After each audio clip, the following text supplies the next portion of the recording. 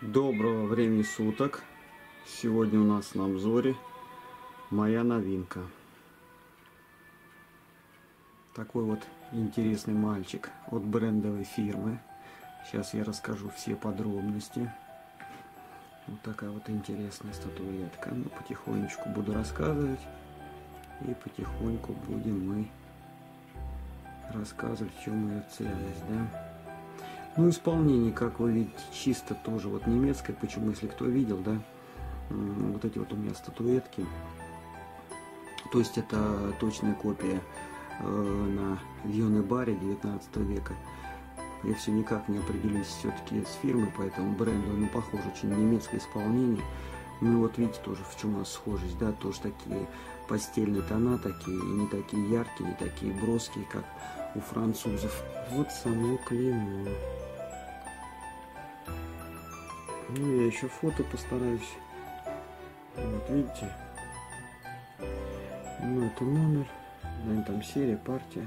Это маркировка Gesetzlich на немецком. Или, если сокращенно она бывает, шла Gesgetch.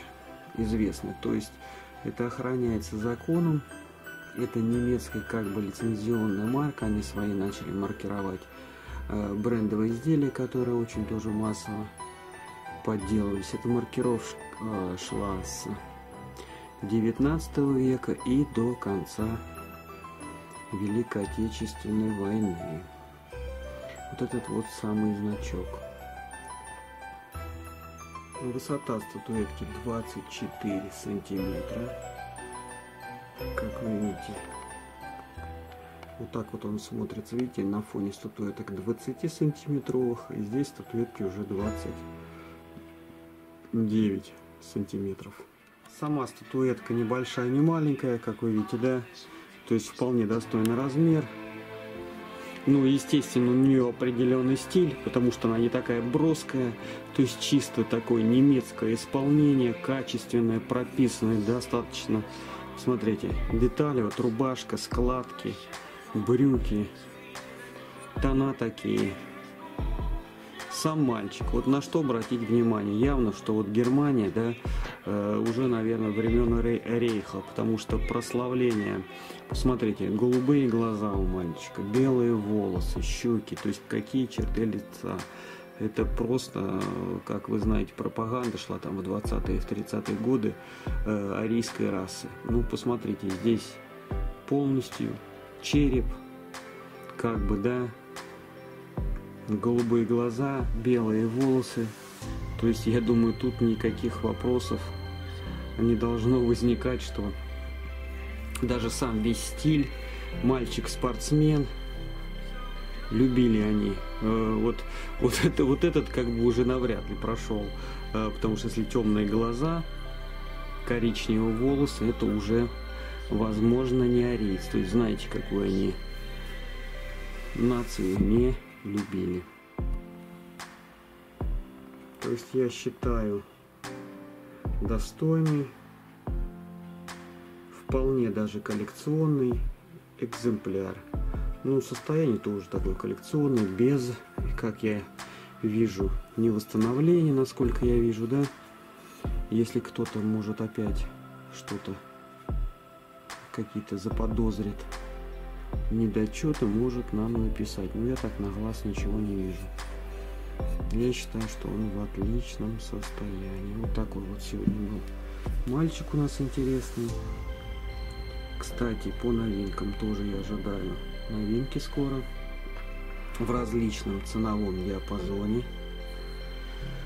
Тоже статуэтки, можно сказать, а от 19 века до уже чуть ли 2000-х годов. Ну, почему до 2000-х годов?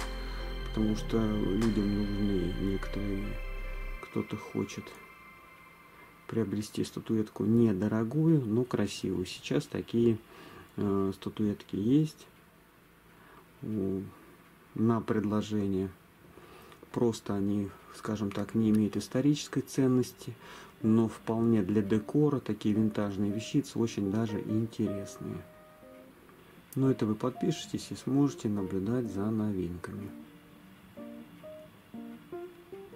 Если кто уже подписан, я думаю, люди могут знать, что у меня различные стили и направления. Вот видите, допустим, из Пельтера я специально поставил тоже немецкий мальчик.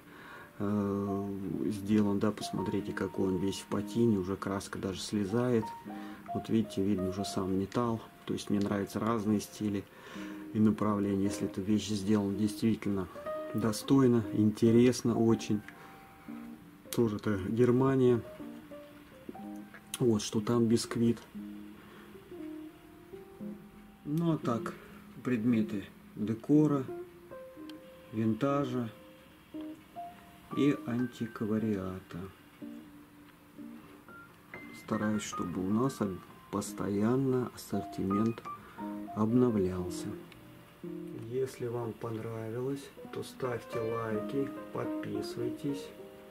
Как я говорю, вы сможете быть в курсе новинок. Ну и а я в свою очередь постараюсь, чтобы предметы были все более и интереснее, разнообразнее, ассортимент увеличивался, расширялся. Вот, потому что мне самому это очень интересно.